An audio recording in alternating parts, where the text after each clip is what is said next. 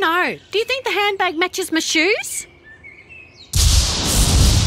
What was that?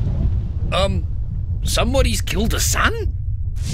Oh, what's happening? I don't know. I.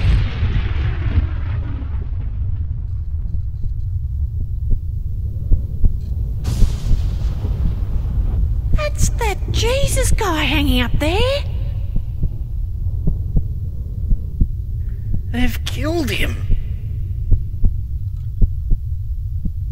Well, what are they looking at?